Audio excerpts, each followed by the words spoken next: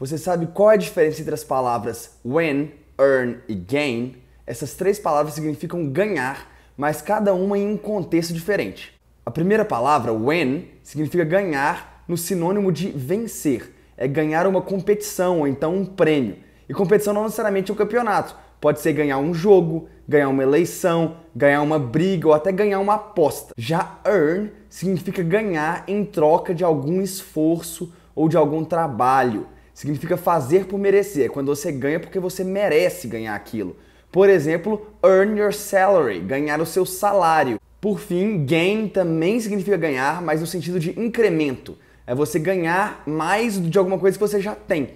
E normalmente isso é ganhar aos poucos. Por exemplo, gain weight, ganhar peso, gain height, ganhar altura, gain speed, ganhar velocidade, ou então gain experience, ganhar experiência. E essa foi a dica rápida de hoje.